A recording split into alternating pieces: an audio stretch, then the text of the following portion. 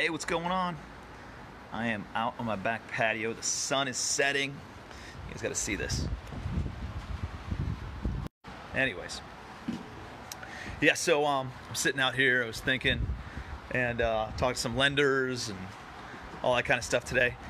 And uh, I talked to my, my business partner, Fadi Bumitri, who's my chief investment officer.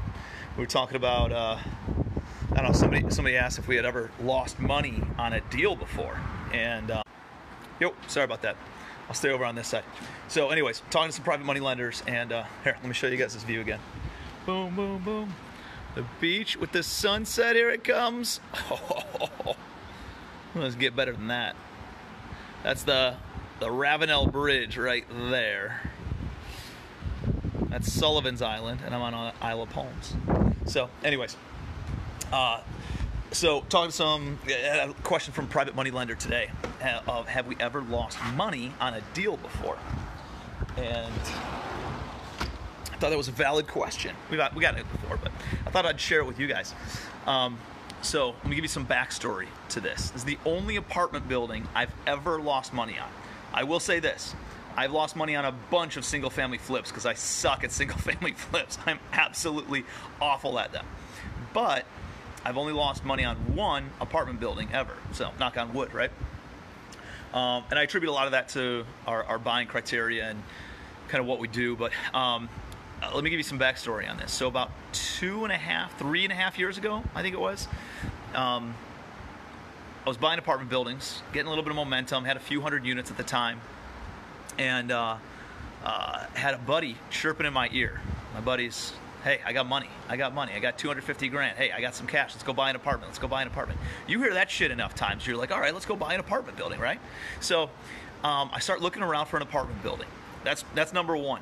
Don't go and buy apartment buildings just because you have money. Got it? Because then you start going to look for a deal, just looking for somewhere to place the money, and it doesn't necessarily have to be a great deal, right? That was wrong on my part. So that was the first mistake of mine. Second thing is, well, let me just keep on going the story. So I start looking around and I find a 44 unit apartment building about 10 minutes from my office in Cleveland, Ohio, um, in, a, in a community called Old Brooklyn. And, um, and I knew the owner. It was actually a buddy of mine. And um, knew this guy. We hung out before, gone to dinner with our wives, and, um, you know, a buddy.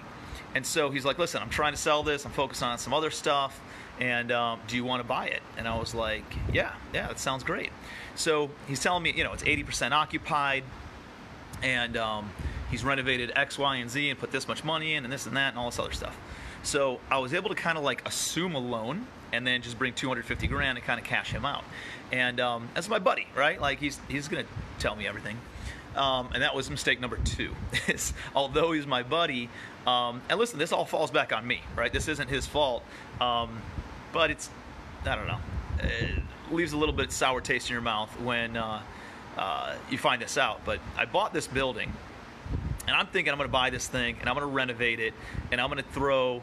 Uh, I don't know, hundred thousand, hundred fifty thousand dollars into it, and then uh, sell this thing and make about three hundred grand in six months. Okay, that's kind of where I was, where my mindset was, because we had management in place, we had all this other stuff that we could just jump in, slam it all out in a few months, and then put it back in the market, make three hundred thousand dollars in less than six months. Boom, it's a good payday. So, I uh, we we buy the property. And you know, like it's like, hey, it's 80% occupied. I look at all the leases. He's got, you know, out of 44 units, there's 35 of them that are uh, I have leases for. He's got a rent roll with 35 names on it, and um, uh, all this other stuff. And so, my my issue was that I didn't verify collections on the 80%. So although it was 80% occupied, it was only 25% economically occupied. It was 80% physically occupied with people, but only 25% were actually paying rent. And so I walk into a building that I thought was cash flowing from day one, and all of a sudden, not only is it not cash flowing, but I have to kick out 25 tenants and fight, fire off all these tenants. I'm not collecting rent. I have to spend money on evicting them, and then I have to renovate 25 more apartments than I thought I did. So this project, and, and, and this is a different so, sort of deal than what I usually structure my apartments as. Um, my buddy was like, dude, I want to be a 50 50 partner, and let me just put up the cash. Let's just do 50 50, 50 50, 50 50. Don't pay me a pref. Don't do this. Don't do that. And, um, and so, like, I'm like, all right, fine, let's go, just go ahead and do it. And so, uh, buy the building, find this all out. We got to go through this process. I think we're going to make 300 grand in six months, and um, he's going to make a bunch of money. I'm going to make a bunch of money, and we're going to move on with, with life. And instead, we own this property for over a year, about a year and a half. It took us to renovate it, took us to uh, evict all the tenants, renovate it, put all new tenants in place, put good management and everything in place, and then remarket the property. And I ended up selling it a year and a half later and actually lost about $40,000, $40, $45,000. So let me go back. I could have gone to my partner who was 50%, 50% ownership and, um, and said, hey, dude, sorry. My bad, but you know, we lost money on this. It's $40,000 loss, and um, uh, I need you to stroke a check for 20 G's of it. You know, and, and I'll strike a check, strike, strike a check for 20 G's. You strike a check for 20 G's, and we just lose money and we move on. But you, at least you got your cash uh, back. Actually, you you get 230 of your 250 back is essentially what it would be. But I didn't want to do that. And and I mean, again, going back, I was able to find a buyer for this thing. Now, let, let me go back more. Why do I want to sell it? No. I'm trying to think of like stream of thought consciousness here.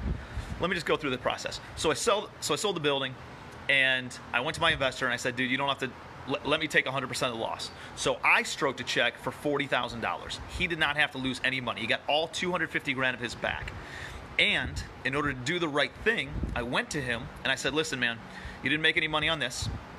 Take your money, keep your money. I'm buying this other building over here that has like a million bucks of equity built into it from right from right out of the gate.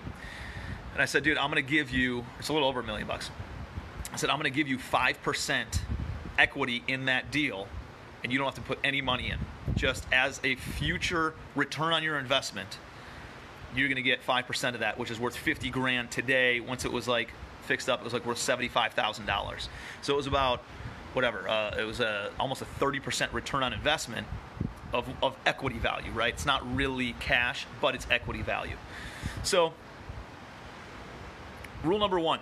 So, lesson number one in this whole thing, actually, lesson number like three, is always do the right thing with your investors, right?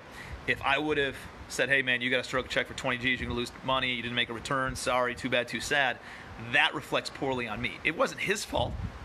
It was my fault that me and my team didn't verify the financials. So you got to take ownership over that. It's not it's not fun to strike a check for forty thousand dollars, but it's the right thing to do. Um, and now he's a big uh, uh, champion and, and, cheerleader of mine, um, talking about how I do the right thing, how I got great you know uh, moral compass and all this other stuff, right? Um, because I did the right thing with him. So uh, that's a lesson to be learned. Another lesson to be learned is the crazy thing about this, and, and listen, I should have lost way more than that. I should have lost probably a hundred to hundred fifty thousand dollars.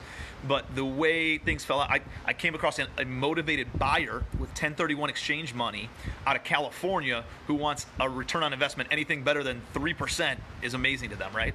So he over not I wouldn't say he overpaid, but he paid a retail premium on this thing, and um, and he had to close quickly. And so we were able to make it happen. And uh, I only lost forty thousand dollars. I should have lost closer to probably a hundred, maybe even 150 on this thing. But here's what I what I love about multifamily. We sold this building because I didn't want to deal with it anymore because it was a C C plus kind of an area, heavy management intensive, meaning like I'll give you an example. like this is the kind of place where I remember one time my team got a call and it, was the dumpster company, and they're like, we can't take the dumpster. There's a bunch of stuff on top of it, and uh, you got to pay somebody else to come out and get it because we're not going to empty it all out. And so uh, we send out two guys in a truck, and they empty out. You know, there's mattresses on top and garbage piled on top of that, and, all, and they get everything on, off of on top of the dumpster, and then they open up the dumpster because we have to empty that out because the trash people didn't take that, and they saw that there was nothing inside the dumpster, meaning a single tenant was too lazy to open up the dumpster, just put their trash on top, and everybody else did the same thing, and it cost me, I don't even know what that was, probably $3,000 to trash out the entire thing, because uh, I still got billed from the, from the trash company too. So like, that's kind of stuff you deal with in C class and D class areas. And for where my team and I were three years ago was an upward trajectory, and I and I knew that the the opportunity cost of us continuing to manage this deal versus just selling it, taking a uh, you know taking a loss on it and moving over to bigger, better projects, uh, the opportunity cost would have been greater than the forty thousand dollars that I lost. So there's another lesson for you. You got to look at the opportunity cost. Where are you spending your time on these things? And here's my favorite part: is is the final lesson. The beauty about multifamily is I could have held on to this thing. I could have held on to it for another probably 24 to 36 months, bumped up the rents every year as the you know the the, uh, the leases came renewed, paid down enough principal to the point where I would have been able to sell it for a profit. Meaning I didn't have to lose money on this deal. I chose to lose money on this deal because of the opportunity cost. But the beauty of multifamily is if you have a cash flowing asset that is continuously kicking off cash flow that covers operating expenses, covers debt service, and you know you take any extra money and, and kind of you know uh, uh, pay yourself back for all the money that I outlaid on this thing.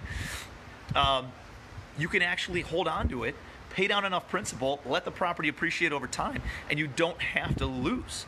Even if you accidentally pay a retail price or overpay for a property, if you have enough time on your side, you can let the property be paid down on the principal balance on the loan and, and continuously bump rents every single year for the next 10 years. And eventually you create enough of a spread there where you have you have enough equity built in where now you can refinance it, you can sell it, you can wholesale it, you can um, uh, refinance it at your cost basis, above your cost basis. You can seller finance it, do like a wrap mortgage. There's a lot of different options that you can pursue if that's the case. So I love multifamily. I love it. That's the only deal, multifamily deal, knock on wood again, that I've ever lost money on.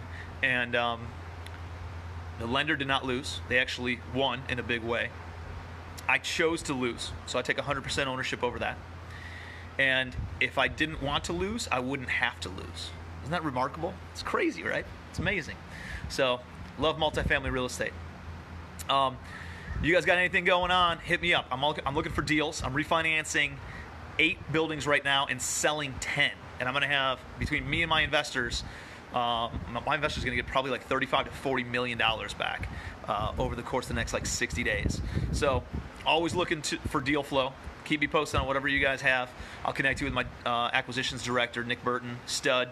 Um, still always looking for capital though too. So if you do guys, if, if anybody wants to um, talk about you know what would look like to passively invest and, and partner up with us on that front, connect with my chief investment officer Fadi Bumitri. He's an ace, and then. Um, uh, if you guys want to learn a little bit more about multifamily, I told you guys about this in my last Facebook Live over the weekend. Is I got Commercial Empire coming up. It is a five thousand dollar ticket that we're reducing to five hundred bucks because it's a two day virtual now, and um, you know we, we don't have the, the overhead in order to do that, hold that event anymore. So I'm passing it along to students. And if you've already been out to Commercial Empire, you can come out again for free. Uh, this time only. Okay, so if you've already been out to Commercial Empire, you can plug in again at no cost. If you have not been out to Commercial Empire, it's 500 bucks. It's I, I promise you the best 500 dollars you could spend on education. Um, you should see the reviews. It's just like it's off the charts on um, on our reviews and on our student results. It's insane what they're what they're getting. So um, it's October 29th and 30th. Um, done virtually. It's going to be from 10 a.m. Eastern Time to 6 p.m. Eastern Time, so you West Coasters don't have to wake up too too early, and um, it's going to be gangster. So uh, if you guys are interested in that, hit me up send me a, uh, a, Facebook message with your email address, and I'll connect you with my director of marketing, uh, Kate, and she will send you uh, details on, on how to get set up for that. So, you guys uh, ever need anything, you know where to find me. Love you, appreciate you. Be your best.